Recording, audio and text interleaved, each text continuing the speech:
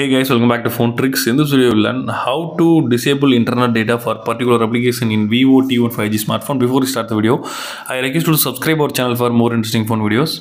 First of all, open the settings of the phone.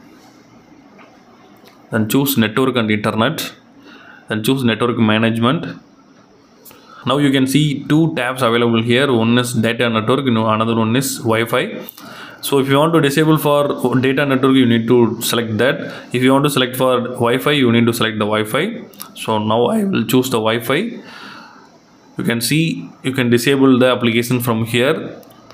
You need to uncheck the applications to using the internet. So now the background data of the application is restricted. So if you open the application, it will ask for permission. If you click allow then it will use the internet. If you disallow the internet is not working for that application.